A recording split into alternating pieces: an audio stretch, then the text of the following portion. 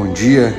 E cada dia que eu chego aqui nesse lugar aqui, ó, nesse hospital, nessa sala cirúrgica, eu fico pensando que se todo ser humano tivesse a oportunidade de passar dentro de um lugar desse, daria mais valor à vida, valorizava mais as pessoas e não as coisas.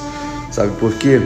Porque aqui é o seguinte: a pessoa chega no centro cirúrgico quando ela não tem mais nenhuma outra opção, não tem mais tratamento conservador que vai livrar ela da dor que ela está sentindo.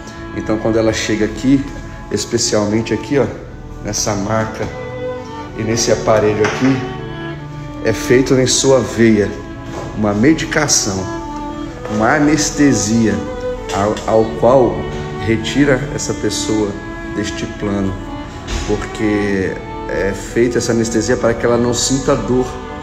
Então, através de uma simples medicação, essa pessoa apaga. E a partir desse momento pode serão amputados pernas, braços, serão operados tumores no cérebro. Então assim, você fica à mercê, você fica nas mãos de homens, nas mãos de médicos. E então assim, você pode muitas vezes nem voltar, nem acordar dessa anestesia, dependendo do seu caso, se for muito grave. Então, não fique se achando o tal, o melhorzão, o bonzão. Não seja arrogante. Não, não, não, não. Nós não somos nada. E você que se acha superior a alguém, fica três diazinhos sem tomar banho para você ver como é que você vai começar a ter mau cheiro, o odor que vai sair do seu corpo.